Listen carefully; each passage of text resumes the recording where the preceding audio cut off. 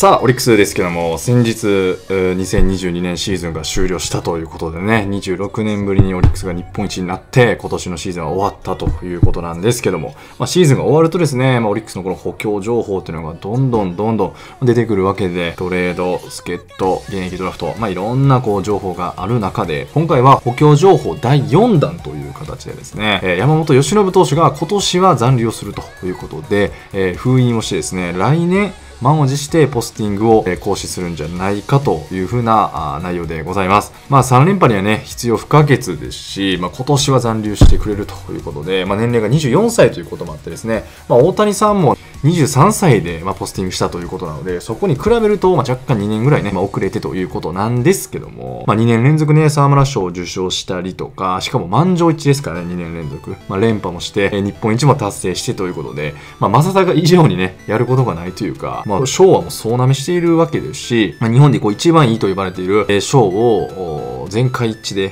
2年連続で取ったということであれば、もうね、それはもう送り届けない理由がないんじゃないかなと思います。で、正尚と違うのが、年齢がね、5歳ぐらい吉野村が若いんですよね。なので、正尚は今こう油が一番乗り切っている状態なんですけど、18勝して2年連続沢村賞を取っても、吉信はまだ全盛期じゃないと。これあくまで数字的なんですけども、ここ数年が一番こう油が乗っていく時期ということなんで、そういうことを考えるとですね、えー、楽天の田中将大投手のようにですね、24勝0敗で、えー、こうシーズンを終えるなんてこともあり得るかもしれないですし、もしかしたら30勝0敗なんてあるかもしれないですよ。ただ、やっぱ僕はね、それでも24勝だろうが、仮に30勝だろうが、メジャーに行った方がいいんじゃないかなというふうには思っているんですね。で、やっぱこれまでのことを考えると、まあ、ものすごい貢献度だと思います。正尚と同じぐらい、もう十分すぎますね。はい。で、来年ね、25歳なんで、そういうことを考えると、まあ、メジャーで全盛期を迎えたら、どんな感じになるんだっていうふうな、やっぱ見たさの方が勝っちゃったわけですよ。まあ、日本でね、ある程度も無双してるので、これがやっぱり18勝が21勝とか、24勝とかなるだけなのであれば、メジャーでね、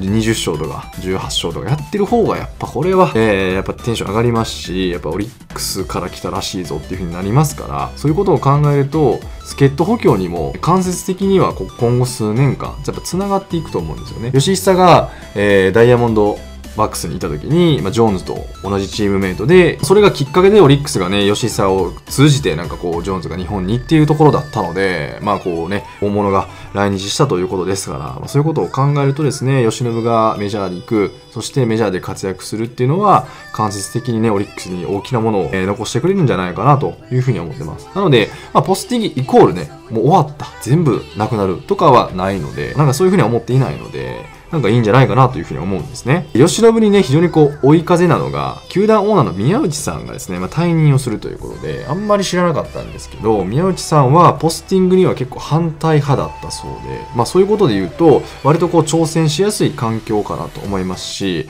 今ね、正隆がポスティングほぼ確実と言われている中で、えー、渡米するのであれば、まあ当然ですけどね、吉信は止められる、えー、理由がないと思うので、そういうことを考えるとですね、えー、満を持して堂々と海を渡ってもらえたらなと思います。はい。まあ、正尚のようにですね、守備とか、走塁とか、懸念材料ないと思うんですよ。なので、後ろでも前でも圧倒していた吉野であれば、年齢のことも考えるとですね、えー、ポスティングでも十分な評価を得られるんじゃないかなと思います。で、実際にね、ポスティングするのであれば、オリックスとしてはですね、やっぱ準備しないといけないのがエース候補ということで、なかなかね、山本由伸のような圧倒的なこのピッチャーっていうのは、まあ、そう簡単には、ね、登場しないと思いますし、吉信の前に日本のエースと呼ばれていたのは、まあ、金子投手かなと思うんですけど、それでもですね、キャリアハイの17勝は2010年なんですよ。やっぱ10年ぐらいやっぱかかっているわけなので、そういうことで言うと、10年に1人ぐらいの逸材なのかなというふうには思います。まあ、吉信の前で言うと、まあ、大谷さんになるのかな。えー、でもそれでも2017年、えー、なので、本当にこう、大谷から吉信にっていう本当に挟ますよね。18年、19年とかだと思うので、まあ、なかなかにね、えー、吉信がもしポスティングで行ったら次は誰なのかっていうのもちょっとこう、注目なんですけども、現在ですね、まあ、ローテーションということで、まあ、ルーキーのね、外に投手はまだ投げてないですから、わからないですけども、吉信を抜いて、そして、幸也も来年のオフね、えー、FA 権取得見込みということだったので、そこも抜いてですね、えー、ちょっと考えてみたたところですね、まあ、ご覧のローテになります。はい。宮城投手に始まって、山岡大輔、田島、向木俊平太ということで、まあ、向木俊平太に関しては、曽谷投手同様、まあ、実績はないんですけども、向木投手に関しては、えー、ノーヒットノーラン未遂ありましたし、クオリティスタートも決めました。まあ、怪我とかいろいろありましたしね、そこがちょっと懸念材料ですし、トミー・ジョーンですけども、俊平太に関しても2軍でね、めちゃくちゃ活躍します。フェニックスリーグですっごいいいので、まあ、そういうことを考えると、えー、来年はね、ここに吉野がいるので、まあ、向木投手のこととかは考えなくていいいいんですけど、ドラ1クインテットが半端じゃないことになってるんですね。今年ね、あの、リリーバーで、えー、ワゲスパック、本田、えー、総一郎、宇田川、平野と、そして近藤と、黒木と、もうなんかそういうね、リリーフクインテットみたいな言われてましたけども、先発でもね、ドラ1クインテットがやっぱこうやっているわけなので、まあ、半端じゃないですよね。吉野のポスティングにはしっかりと準備をしてると。で、一人で埋めるんじゃなくて、えー、すごく質の高い投手を複数に揃えてるっていうのがなんかオリックスらしいですよね。はい。まあ、投手も右左それぞれ3人ずつなので、非常にバランスがいいんじゃないかなと思います。で、そうなってくると、じゃあ来年ドラフトで、えー、吉野のポスティングを見据えて投手を指名するのかどうかっていうことなんですけども、まあおそらく指名はすると思うんですね。これも吉野のポスティング関係なく上3人、えー、どこかは指名するのが、まあ、毎年のことですけども、ドラ1ですかってこと言われるとですね、それはちょっとやめてください。もういいです。野手です、これはね。あの、吉野のポスティングあるんですけど、個人的には投手1、野手2の配分でいったらんかいと思ってるんですね。まあ、つるんつるんに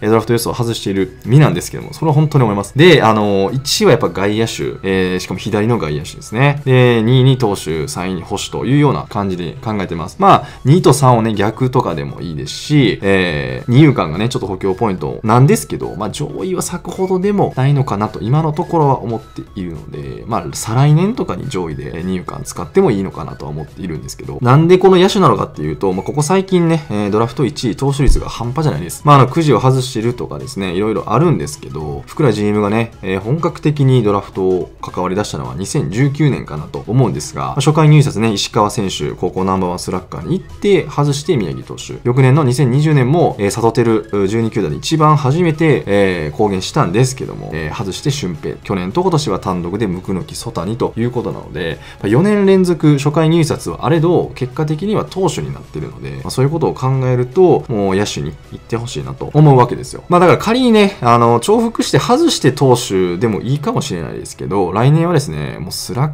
カーがものすごい豊作になります。なので、まあ、外してもリカバーできるぐらいの野手の豊作っぷりですから、ぜひなんかね、小園外して大田亮行った2018年ばりに、ちょっとスラッガー、アーティスト行ってほしいなというふうに思ってます。で、その場合で言うと、野手はね、ちょっと左打者が非常にこう不足してるなと。今年も杉沢選手獲得しましたけど、結局ね、上位は内藤選手の右打者でした。はい。左右でね、ちょっとプロスペクトガッとまとめてみたんですけども、まあ、右がね、大田亮に始まって、紅林、現内藤、池田。まあ、これだけでもね、もう熱々なんですけども、左だけ考えても野口、北、杉沢ということなので、まあ、キャッチャーと外野、このあたり、もしくは二遊間でもいいんですけど、え左打ちの選手っていうのは、個人的には必要なんじゃないかなと思います。まあ、キャッチャーはね、左右関係ないのかもしれないんですけど、はい。まあ、いずれにしても、あの、正隆のポスティングっていうのが関係はすると思うんですね。このドラフトに関してで言うと。なので、吉野が残留する。だからといって投手に行くではなくて、でもやっぱりここまでの揃えてる人材含めると、やっぱ野手でいいんじゃないか。えー、そうなってくると、正隆がいる、いないで変わってきますし、いなかったとしても、森選手もしくは近藤選手次第では、左のスラッガーっていうのは急務になると思うんですよ。で、左のね、もし近藤選手が来なかった場合、